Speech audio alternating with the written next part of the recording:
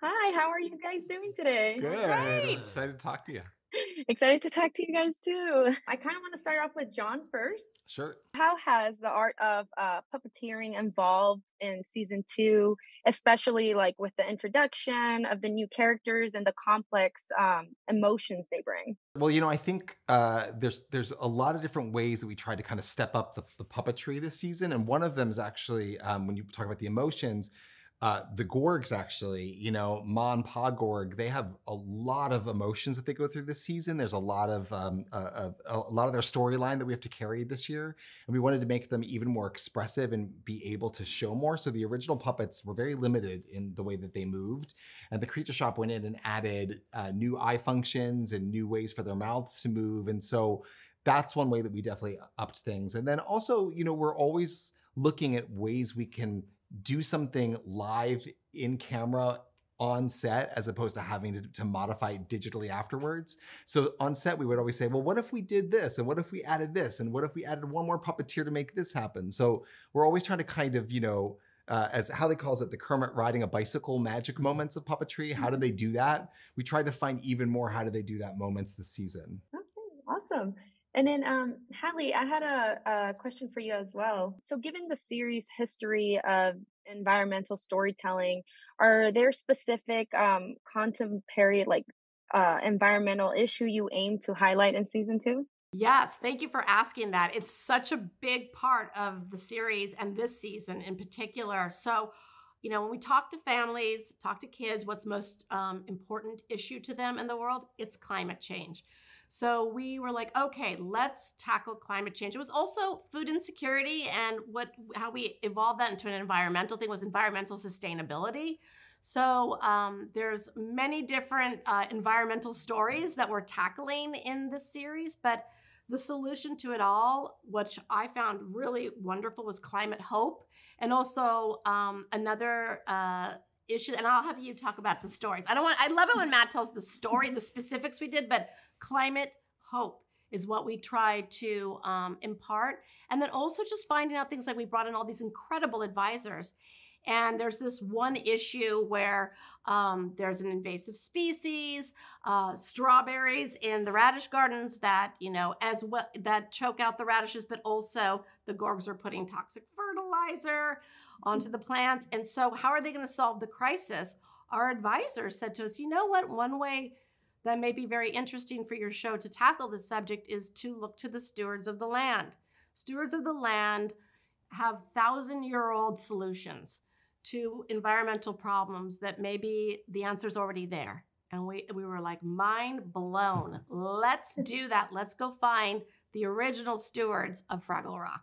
And that so that became part of the series. And I think it's a beautiful message to bring forward because that's something we can do now. It's an actionable item um, in our planet. But do you want to say how we did bring it to life in the stories? Yeah, I mean, just in in general, you know, we we don't want to uh, hit anything with too heavy a hand. It's it's still it's a big topic, right? Yeah, yeah it's heavy. Yeah, it's like, you're tackling climate change. Yeah. So our Fraggle version of that is is Doc is experimenting uh, with wind power in her lab, and this kind of causes a windstorm in Fraggle Rock through the hole and it causes all sorts of problems and changes. And a strawberry gets blown into the Gorg's garden, and like Halle said, it kind of overtakes the radishes, and it really messes with the Fraggles' way of life. And there's a lot of uh, there's a lot of fear and anxiety over it, and they kind of just uh, figure out that uh, they need to stick together and and work together. They might not have all the answers, but if they if they stick together and they they're hopeful and they listen to each other then they will uh, come up with a solution. We wanted a hopeful message. We wanted climate hope. We I, we think the families that's what they want to hear, and those are the tools they need right now. Wow, that's actually beautiful. I had no idea. that's that's that's amazing that you guys are bringing this, you know, for everyone pretty much to see. So I, I think that's brilliant for you guys to put that in as a message in this. And then quick question for you three. Can you describe the collaborative process among you three when it came to making key creative decisions for season two? Oh, we fight. We yeah, hate banana, each other. banana cream we pies. Like no. whoever wins, banana cream pies wins. Well, no, I mean, I think I think we really respect what everyone has to offer. And I think, you know, at the end of the day, like the baseline is everyone who's working on this show is coming from a place of passion for the show to be the best it could be.